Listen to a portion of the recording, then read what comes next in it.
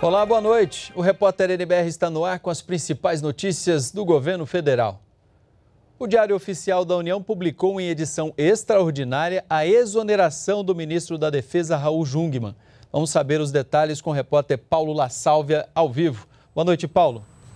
Boa noite, Zé Luiz. Segundo o Ministério da Defesa, a exoneração ocorreu por conta de uma questão técnica e legal.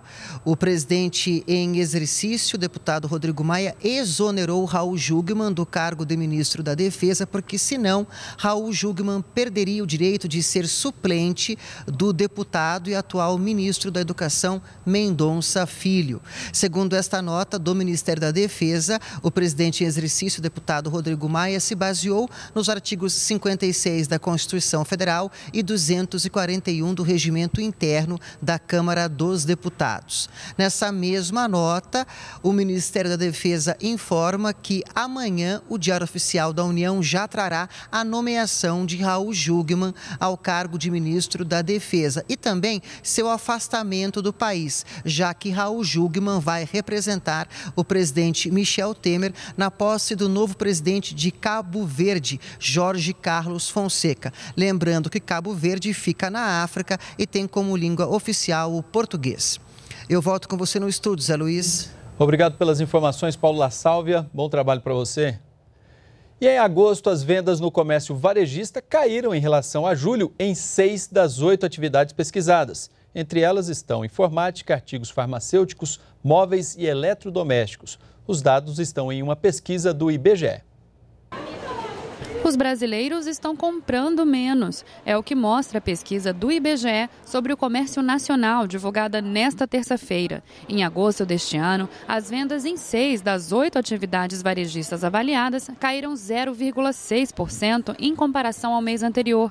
Varejo é a venda de produtos ou a comercialização de serviços em pequenas quantidades. A pesquisa mensal do comércio é uma espécie de termômetro das vendas no varejo. O levantamento avaliou 5.700 empresas brasileiras. De acordo com o IBGE, fatores como o aumento da inflação e juros altos contribuíram para a redução das vendas. O comércio em agosto ele está reagindo a uma conjuntura de deterioração do, das condições de mercado de trabalho em relação a agosto de 2015, a uma aceleração da inflação e, ao, e aos juros. Então, são fatores que, juntos, podem explicar os resultados negativos do comércio. Apesar da queda na maioria dos segmentos avaliados, em agosto, as vendas no setor de hipermercados, supermercados, produtos alimentícios, bebidas e fumo apresentaram alta de 0,8%, um avanço em relação ao mês anterior. Já os setores de tecidos, vestuário e calçados registraram estabilidade em relação a julho. As famílias procuram manter o seu orçamento e evitar consumos é, consumos que não, não são consumos básicos, né, atividades como móveis eletrodomésticos, é, artigos de uso pessoal, combustível e, e, perfumaria, principalmente, em detrimento de um consumo mais básico, ou seja, sobra um recurso maior para o consumo do hipermercado, que é um consumo básico e que toda, pela natureza da sua própria atividade. E de olho na queda das vendas e na variação dos preços, o Comitê de Política Monetária, o Copom, realiza a reunião para definir a taxa de juros, a Selic. O anúncio será feito amanhã.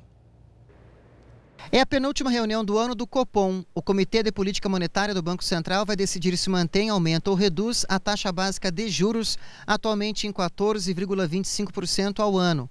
Chamada Selic, a taxa serve como uma orientação para o mercado taxa Selic é uma taxa que referencia todas as outras taxas de juros no mercado brasileiro, na economia brasileira.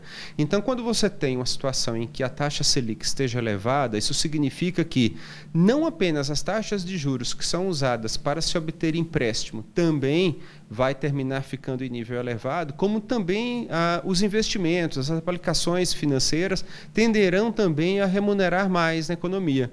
Isso é muito importante, porque isso acaba, vamos dizer assim, dando a base para várias decisões, eh, não apenas do ponto de vista econômico, mas que vai influenciar a vida de todos os brasileiros. E como os juros impactam o dia a dia das pessoas?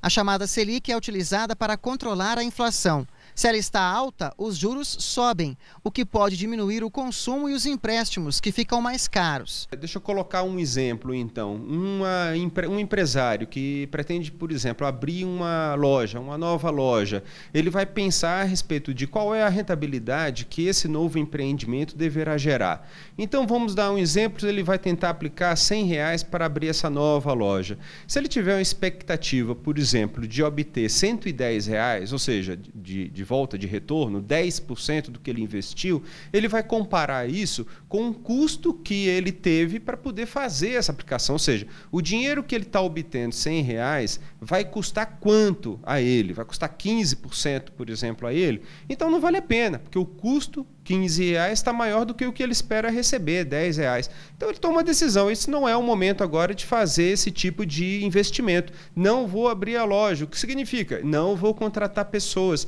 Não vou comprar mercadoria, por exemplo, do meu fornecedor, que também vai ter menos estímulo para contratar pessoal para a sua própria empresa e assim por diante.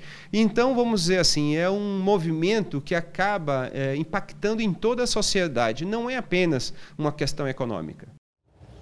O governo vai economizar 139 milhões de reais por ano com o cancelamento de mais de 8.400 auxílios doença. O número representa 77% da perícia efetuada até agora. O secretário executivo do Ministério do Desenvolvimento Social e Agrário, Alberto Beltrame, diz que na maior parte dos casos, as pessoas já estavam aptas para o trabalho, algumas até empregadas, mas continuavam recebendo o benefício.